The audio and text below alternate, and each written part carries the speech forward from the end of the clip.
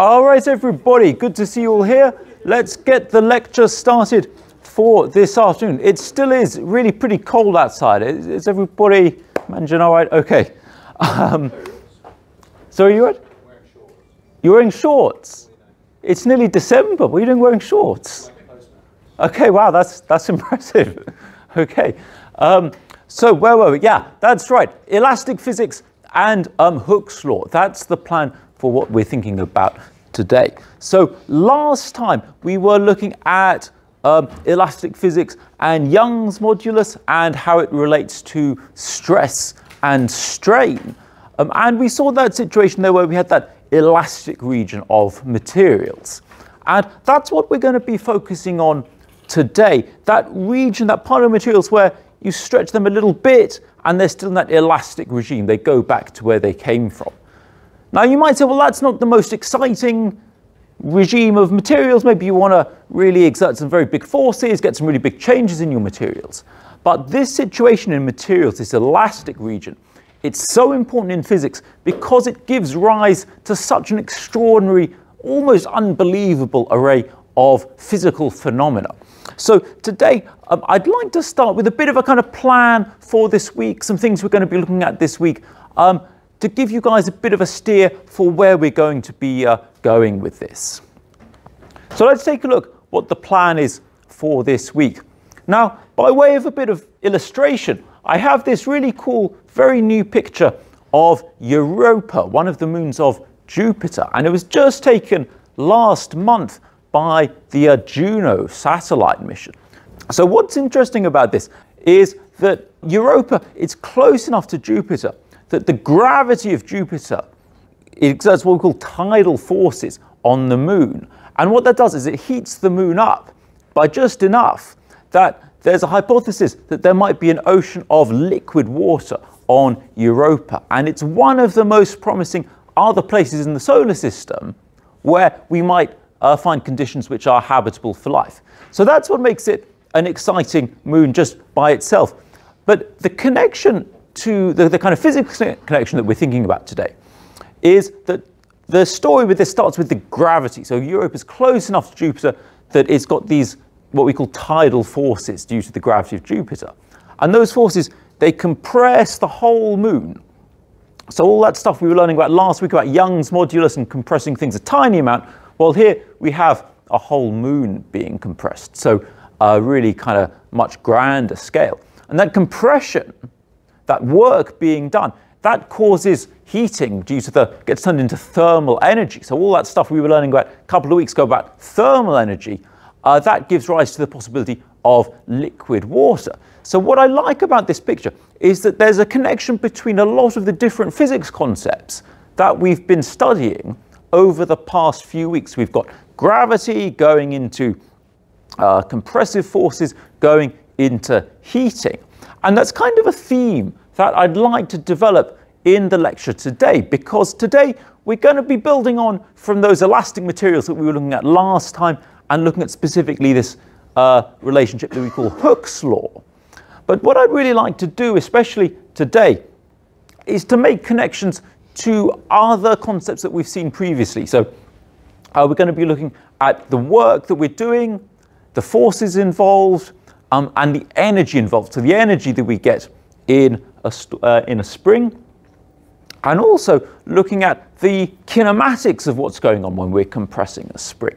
So you might remember um, a couple of months ago we were looking at all the kinematics and velocity and acceleration.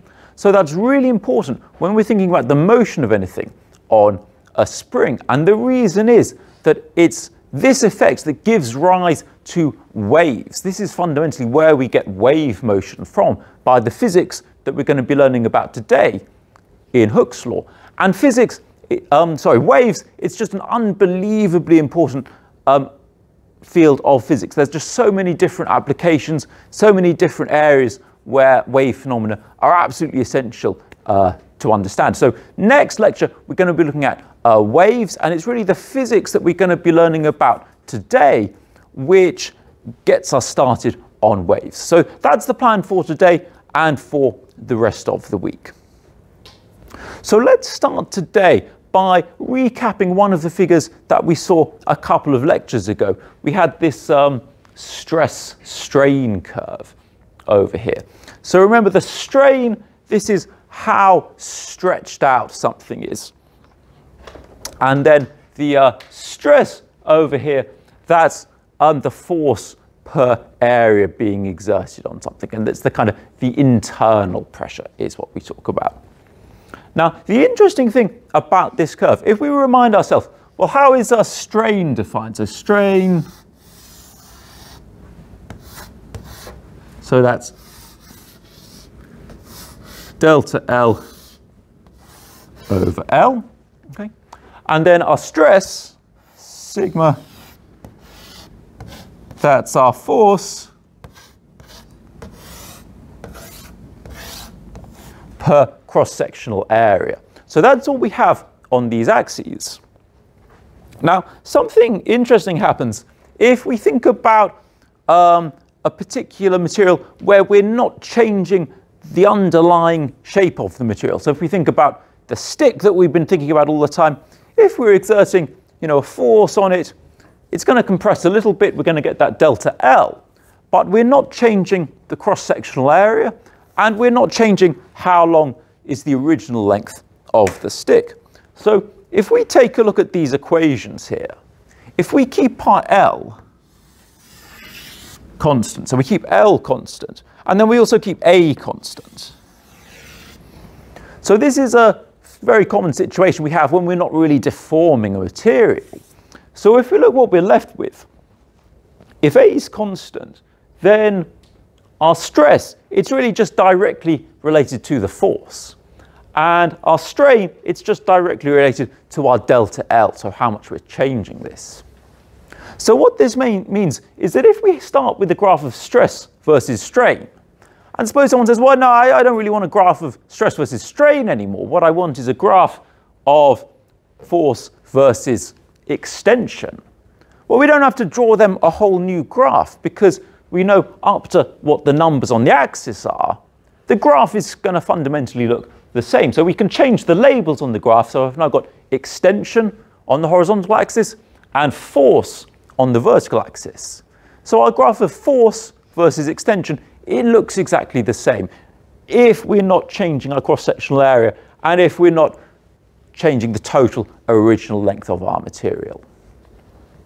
So last time we used delta L for our change in length. Whenever physicists we think about Hooke's law, the convention very often we use X for extension. So it means exactly the same thing. So that X there means exactly the same as the delta L. If you're following along in the textbook, they actually use an E, a lowercase e for the extension. So you might see that as well, but they'll just mean the same thing. It's how much we've changed the length of something. So this is our force versus extension curve. How much force we exert on something and how much it's going to stretch. Now, the title for today, it's all about elastic physics. Does anybody remember which part of this diagram is what we call the elastic region? Does anybody remember that? Fantastic, very great answer. So the, the linear region, great answer, okay. So what we mean by that, so this straight line bit over here, that's what we call the elastic region. So we can kind of divide our graph into the elastic region and then the inelastic region. So over on the uh, inelastic region, there's all kinds of interesting stuff going on over here, and it's going to depend on exactly what the material is. But we can just group all that stuff together and just say, well, that's all inelastic. And then this region over here, the elastic region. So remember, this is the situation where we've exerted a small force on something and then it just goes back to how it was. That's what we mean by being elastic. And your explanation, therefore, what exactly do we mean by elastic? Great explanation because what it really means is it's where this relationship is a line. So we say it's a, a linear relationship. There's a linear relationship between the extension and the force. And physicists, we absolutely love linear relationships. We absolutely love ourselves a line. That is a great thing. We know how to deal with lines. And then over here, it's not a line, it's going to be complicated. So we've got this example here of a ductile material, but once you've started stretching a material past the elastic region, kind of we can get all sorts of things going on here and exactly what the maximum tensile strength is going to be. Uh, it kind of depends on the material. So this is just one sketch of what we might get, but there's all kinds of things that might happen. So over in the elastic region, it's kind of nice and easy for us because the relationship between force and extension is just a line. So that's kind of easy. So we actually kind of like it over here. But then over here, once we're out of the elastic region, it's just, it's kind of a lot more complicated. And, and it's kind of pretty difficult to work with. There's not one single relationship we can use to go from our force to our extension. Now, physics, it kind of has a bit of a reputation as a kind of complicated, some people say it's a kind of difficult subject. But the thing is that this bit over here, where it's the nice elastic region it's nice and easy, this is really where we do physics. And we're just starting to see some of the physics involved with this today and later in this week. But there's just an extraordinary, almost unbelievable amount of physics that is all based on the properties of things in this linear regime. Once we've stretched something beyond what we call the elastic regime, it kind of gets too difficult to, for physics. And physicists, we tend to say, well, this isn't really physics anymore. Now, there's not an exact hard definition between physics and other sciences. You know, there's lots of overlap. But in general, once we start stretching something out or compressing something so much that we're over here, physicists, we tend to say, well, well, we're going to leave that to the chemists, or how that's going to behave. We'll, we'll leave that to the engineers, or maybe we'll, we'll have a whole field, material science, we'll, we'll just leave this to them because it's kind of too difficult for us physicists over here. So like I said, physics, it does have a bit of an undeserved reputation. I think often a lot of jargon and complexities just get in the way, but fundamentally, physicists, we love nice simple situations like this, where we have a straight line relation between the two concepts we're thinking on. That's what we're going to stick to. Now you might think, well, it's a bit limiting. I'm kind of more keen on all this interesting stuff. But we're going to see a lot of amazing phenomena today and next time, all just staying in this elastic regime over here. So this situation over here, this is what we get whenever we just exert a small enough force on something that that extension is directly proportional to the force. That's what we're talking about. And it's really this regime that we're thinking about when we're dealing with Hooke's law, which is kind of what we're going to be focusing on today. So what I'd like to do in this uh, question over here is that in that previous graph, that's the force we're exerting on some material. So we're exerting some positive force and we're getting some change in length here. But um, Hooke's law, we're actually thinking about the force in the spring. So with this question, have a think about if we exert some extension, and we know our force, it's going to be that linear relationship. It's going to be directly proportional to the extension. What's going to be the equation for how our force is related to the extension? So a useful tip with this one is it's very often useful in physics to think about what happens at extreme values. So what happens for very large values, what happens for very small values, what happens for values of zero. So if you're trying to figure out which one of these could be describing the force on a spring, it's very useful to think about what's going to happen when the extension goes to zero. What are we going to want the force to do if the extension goes to zero? Okay, let's take a look at the responses. Let's see what everybody gets for this one. Let's take a look. Okay, so looks like most people are going for A, kind of even for B and C not so many people are going for D. Now, if we look at, which ones do we have here? B and D. These are all kind of situations where we have basically that our force is proportional to 1 over x. So maybe it's plus or minus, but the idea is that it's um, what we call inversely proportional there. So let's think about what would happen here if x goes to zero. What's going to happen to our force if x goes to zero like this? Any thoughts? So 1 divided by a very small number, that's going to give us a very big number. And as our x goes to 0, this force is going to explode up towards infinity. So remember, if we have a, you know, a spring and it's just in its equilibrium position, we're not stretching it or compressing it, we don't want there to be any force. We only want the force to come in if we start extending or compressing the spring. So if the spring's just sitting there not being extended, we don't want any force. So we know that it can't be any of these ones where it's so the force is equal to you know k over x or minus k over x because that would give us huge forces when there's no compression and then tiny forces when there's big compression. So the ones we're looking at are really A and C. That's kind of what we've narrowed it down to. Now, A, so that says our force is directly proportional to our extension. So that's actually a graph of what's going on in that force versus uh, extension curve that we were just looking at. But remember with that curve, that's the force that we're coming in and exerting on the spring. So we've got our spring here and we're exerting some force. And that's what the extension is going to be. The difference is when we're thinking about Hooke's law, we're thinking about the force on the spring. So not the force being exerted on it, but the force on the spring. Uh, and the spring, it's always pulling itself back to where it's from. So if the spring's nice and happy here, if I pull it, it wants to pull itself back to where it was. So what that means is that the force is actually equal to minus kx. So the correct option there is option C. So very well done everybody who gave that question a go. The correct option is actually the force is equal to minus kx. Now I'm going to write this one down because you know we're going to be thinking about Hooke's law all day. Actually, let me get some coloured chalk over here. Um, here we go. I'm going to write it down some nice red chalk because we're going to be thinking about this for the whole lecture. So it's useful to have it written down. So write it as big as I can. So force is equal to minus k x. So this is what we mean by Hooke's law. This is what Hooke's law is, that our force is equal to minus some constant times our extension.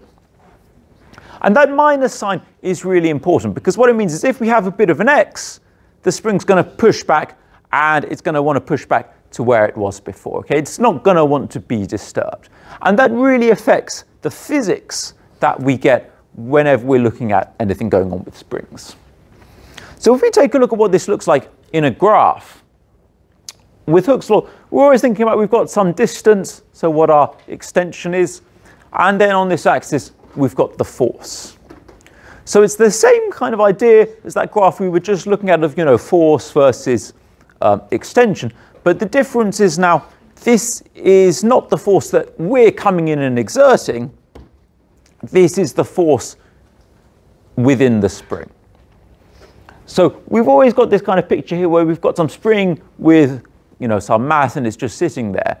And that's what we call its equilibrium position. So it's not been stretched or compressed. That's where it just sits happily if there's no force acting on it.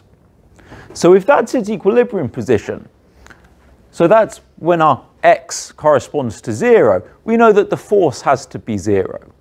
And then if we wanted to stretch the spring, then we're going to get some force pushing us back. And then if we wanted to compress the spring, then we're going to have some force also pushing us back to equilibrium. So what the graph looks like looks something like this. So this is just a graph of this equation here. So force is equal to minus kx. And this k, that's just the slope of the graph. That's what we call the spring constant. So this is some number and it tells us how stretchy or how springy a spring is. And it sets the slope of that relationship. That's what's going on there. So let's think a little bit about what's going on with this spring constant here. So we've got our equation here. So Hooke's law tells us that force is equal to minus kx. So let's have a think about what has got to be the units of the spring constant. So remember with these questions, you don't have to guess. We know what the units for the force are going to be. we know what the units for our x have to be. So from that, we can figure out what the units for that spring constant have to be to make this whole equation work. Okay, very good to see those responses coming in. Let's see what everybody gets for the units of Hooke's law. Let's see what we have here. Okay, nobody's going for D, but then we pretty evenly split between A, B, and C. So let's start by thinking about what goes into the equation. So what we put in, we put in some x. So that's going to have units of meters. And then what's going to come out is a force, and that's going to have units of newtons. So this k, whatever this constant is, that's got to take that distance in meters, divide out the meters, and multiply in some newtons there. So it's got to be newtons per meter. So that's option B over there. So very well done, everybody who gave that question a go, especially if you got that it was uh, option B there. Now, in the workshop this week, we're going to have heaps of questions where we have things like, okay, here's the force on a spring. How much does it stretch if this is a spring constant? Or we can work out all sorts of things. So if we know how far we push a spring and we know what the force is, we can work out the spring constant. We can do all those kinds of calculations. And we're going to have lots of practice of those kinds of things in the workshop. But you guys are pretty strong with those kinds of questions. So what I'd like to focus on in the lectures are the slightly more conceptual kind of questions. So um, do make sure you come along to the workshop at the end of the week because it is useful to have some practice crunching some of the numbers for this, calculating some spring constants. Uh, but for now, let's start by thinking a bit more um, about some of the concepts involved with this. Because that's what the force we get on a spring is, so minus kx. Now, something that's really important whenever we're thinking about springs is how much energy is stored in the spring because we're exerting a, a force. So that might make you a bit suspicious that uh, we're going to be thinking about the energy involved here. So, like I said at the beginning, I'd like to be kind of building on some of the concepts maybe we haven't seen for a couple of weeks, seeing how they apply um, in these new situations. So, what I'd like to do with this question so, I've got a graph of force versus, oh, well, it's, it's just a surprise. You, you can't see that. Let me, let me move this thing out the way because otherwise uh, makes it a bit more interesting.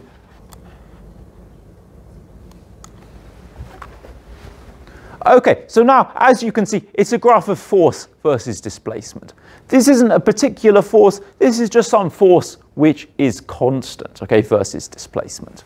So let's have a think about what does this shaded area of the graph represents. So we've got a few options there. Have a think about what's going on. I'll get the question going and then we'll see what everybody thinks for this one. So if you're not sure about this one, it's very helpful to think about what the units of this area are going to be. So on one axis we have force, on the other axis we have newtons. So think about what that's going to give us for the units of this area and what physical thing has those units. Okay, very good. See those responses coming in. Let's see what everybody thinks for what does this area represent. Okay, so got some people going for all of them. But if we have a look, so we've got force on that axis and displacement on this axis. So whatever this area is, it's force times uh, distance, uh, which is of course work, okay? So the correct option there as most people got there, it's option C, so uh, work. Okay, so remember um, from a couple of weeks ago, so work, it's just equal to force times the distance. Now, you might use a D for distance, or you know, we can use an X for distance. So force times distance gives us work.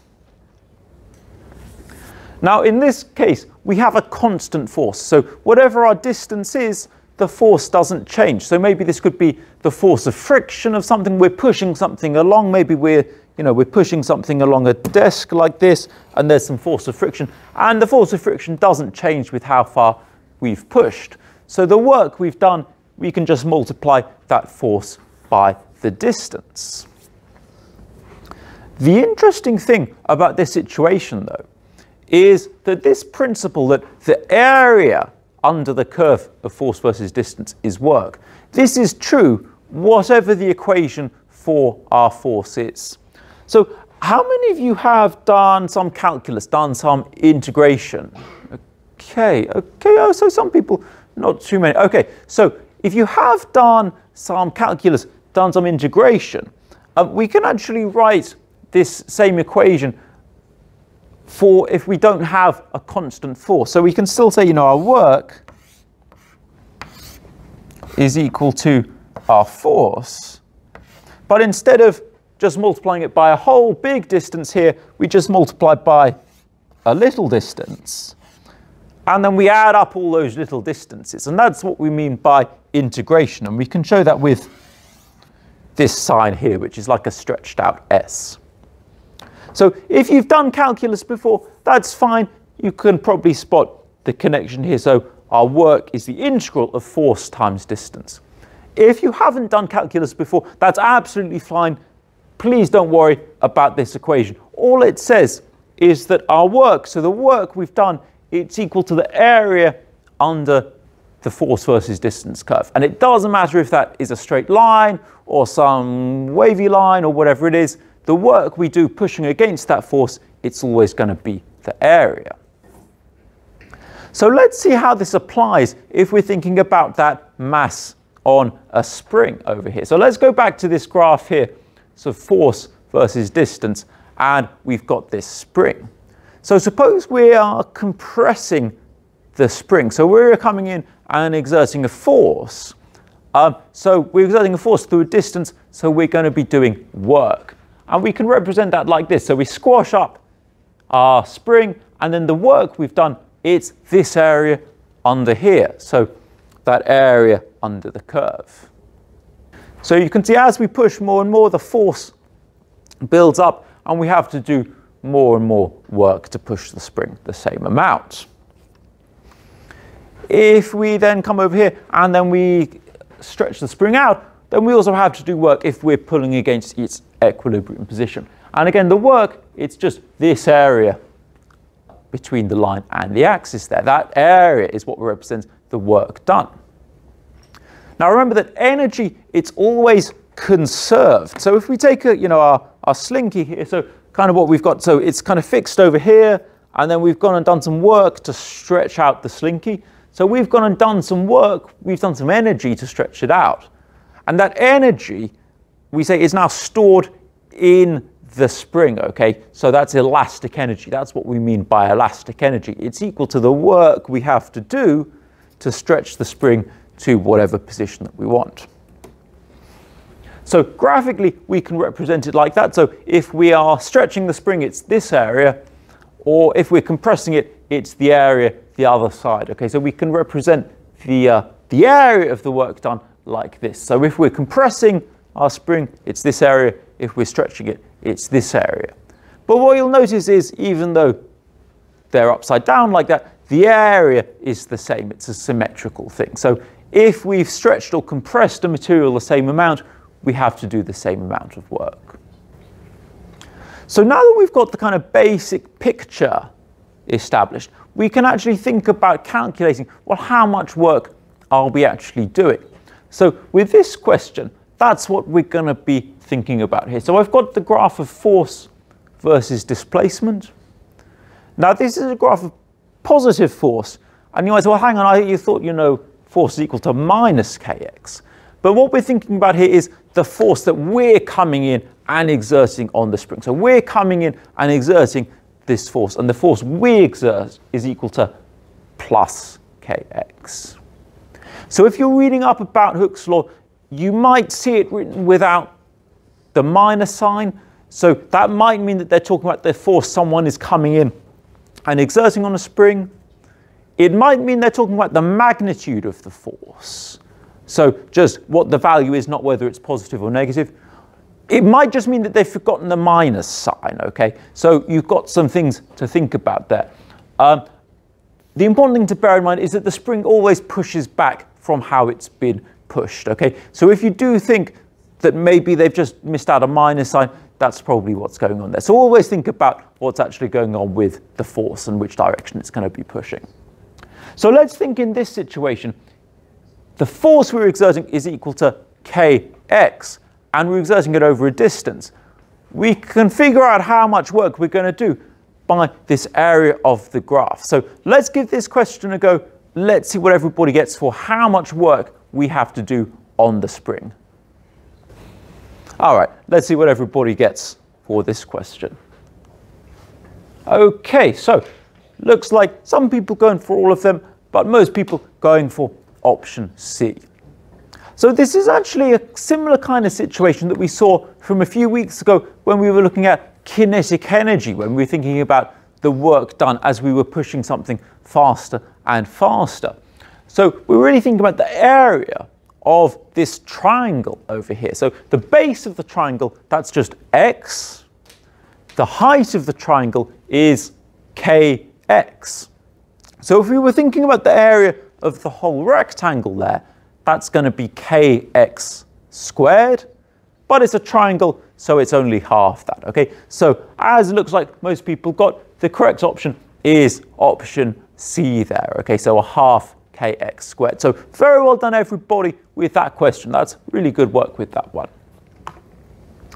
So what this represents is if we're coming along and we want to stretch out a spring or we want to compress it, the amount of work we're going to have to do is equal to a half kx squared.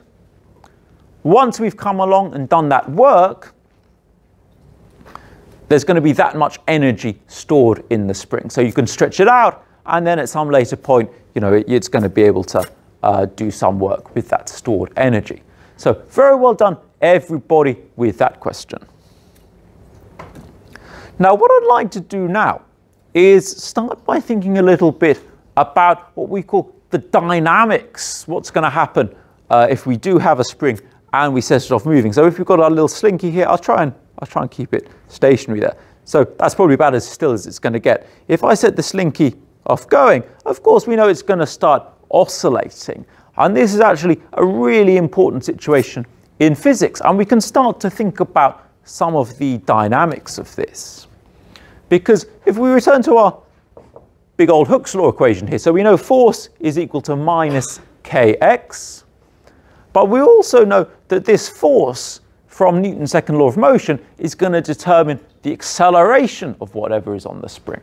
So what we're thinking about in this question is if we have a mass on a spring, how is that extension x going to be related to the acceleration a? That's what this question is all about.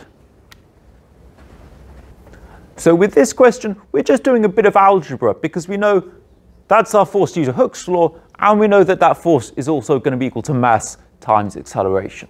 So with a bit of algebra, we can solve for what our acceleration is going to be. All right, very good to see those responses coming in. Let's see what everybody gets for this one. Okay. All right, so it looks like most people going for option A there. So just to work through the math, so we know that our force from the spring is minus kx, and that's equal to mass times acceleration. So we've got mass times acceleration is equal to minus kx. So then when we do the math, we get acceleration minus k over m times x. Okay, so just a bit of algebra with that one, making the connection to Newton's second law of motion. So which one is that up there? k over m times x, so option A. Okay, so very well done everybody who gave this question a go. Now this might just seem like a bit of algebra, but this is actually a very important kind of equation in physics because what this equation does is it relates where our mass on the spring is to what the acceleration is. And it relates our acceleration to our position of where the spring is. So they're kind of couples like this. And this equation is actually what gives rise to the wave motion that we're going to be learning about next time. So even though you might think, well, elastic physics is all about compressing things and we, you know, squashed that chair a tiny, tiny bit last time. This equation here, even though it's a very unassuming equation, you know, acceleration minus km over x, this is the key to understanding wave behavior. Now, last thing before we wrap things up for today, I'd just like to show you guys quite a fun thing that you can try to give this a go yourself. So if you just do a quick uh, web search for PHET Hooke's law, there's a really fun um, online simulation of everything that we've uh, gone over today. So I'll just show you guys what it looks like. So you can start it from there. So you just click go and then what you've got is you've got your very own virtual spring that you can exert a force on and you can see how much work you're doing. So if we uh, take the, uh, the arm over here, so we can stretch it out and we can see uh, the, the force increasing or we can compress our spring over there. And we can do all kinds of fun things. We can change the spring constants, change how stretchy our spring is, changes the slope there. So you'll notice this is a positive graph of force versus extension because this is the applied force. Okay, so the force we're coming in and applying. And so now that you know we've uh, put the spring constant up, uh, we do more work if we want to change the spring. And then the other fun thing with this, it can actually show us the energy that we've done. So the work we've done, all the energy in the spring. So if I stretch it out, can you guys see the shaded region over there? So that's how much work we've done, how much energy stored in the spring. And then if we dial the spring constant back down, then we haven't had to do as much work. Then the other fun thing you can do here is you can have a look at a graph of the energy you need to stretch the spring to a given position. So if we take it back down to zero, we don't need any energy. Then if we compress it or stretch it, that's how much energy is stored in the spring. So that's the equation that you guys worked out a couple of slides ago. So it's quite a fun thing to play around with, get a sense of how the numbers change as you change the spring constant, as you change the displacement. You can see what the energy is, you can see what the, uh, the force is. So quite a fun thing uh, to have a play around with that. I'll post a link to this if you, if you didn't get, get it copied down so you can have a play around with it yourself, okay? Um, so remember, um, right after this, um, we've got the drop-in help session. If you've got any questions about this, anything that you'd like to ask, give this sim a go. Uh, it's quite fun to play around with. Um, otherwise, um, next time we're going to be going on waves on Thursday. So I'll see you guys all then, okay? See you next time.